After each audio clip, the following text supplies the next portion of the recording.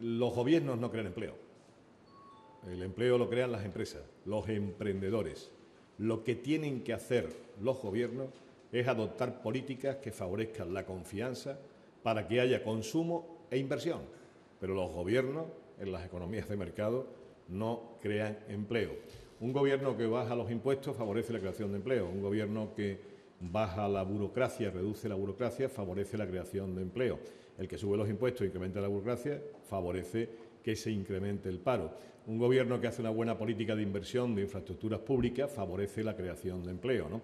Pero al final, las políticas claves para que haya confianza, que reactiven el consumo que hoy está paralizado y la inversión. Pero quien crea empleo son los emprendedores, las pymes, los autónomos y las grandes empresas que tanta falta nos hacen en Andalucía.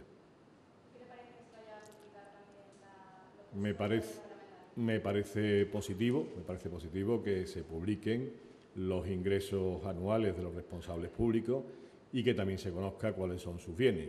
Yo creo que lo importante es que eso se haga siempre a principio de cada legislatura y al final de cada legislatura, pero me parece que es un asunto positivo que ya se venía haciendo en muchos parlamentos autonómicos.